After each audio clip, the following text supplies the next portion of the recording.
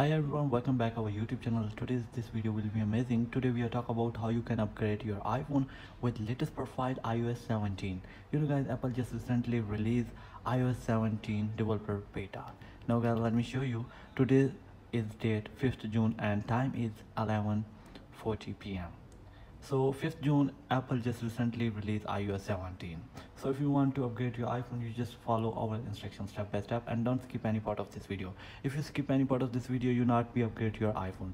Now let me show you guys here's my iphone 13 and currently version i'm using ios 16.6 so if you wanted to upgrade your iphone with latest profile so you just follow our instruction.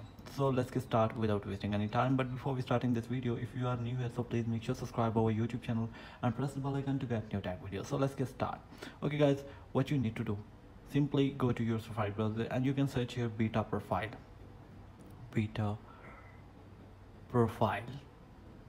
Now once you can search here guys here is the first link you just type here beta profile.dev it's mean developer.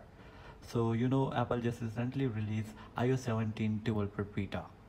So a lot of many apple user uh, opening and using this site. That's why this site server down so i think tomorrow will be fixed this issue and you will easily get latest profile from this site. You just wait a few seconds. I will share you how you can get.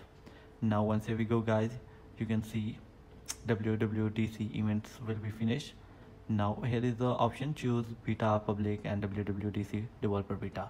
Now if you want to download the latest profile ios 17 you just type to install. Okay guys. Now once you need to type how to install. He is giving you some instruction. You can follow and you will get uh, the latest profile on your iphone settings and you will easily upgrade. This site server down. That's why i'm again telling you you cannot download today I think tomorrow uh, this issue will be fixed and you will easily get latest profile from here. So if you wanted to uh, download you can go here and all instruction step by step uh, showing and you will easily follow all steps and you can easily upgrade your iphone.